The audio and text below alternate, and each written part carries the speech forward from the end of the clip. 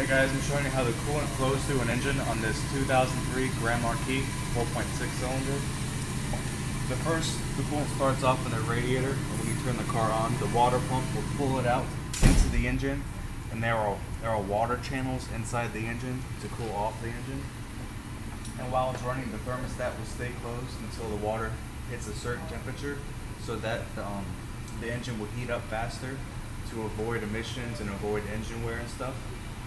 And then when it hits like 180 or whatever the specified um, thermostat you have, it'll open up in here, and the coolant will come into the radiator, and then ram air, like air from outside when you're driving, or the electric or mechanical fan will cool down the air, and it'll push it back into the into the engine to cool off the engine.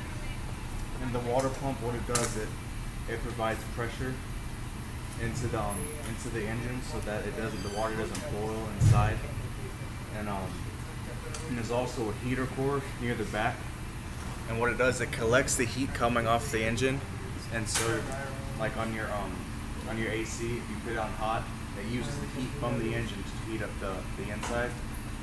And if you're ever having a problem with your engine, if it's overheating, go on full blast and on the heat mode, and it'll actually cool the engine down more and help it prevent from overheating.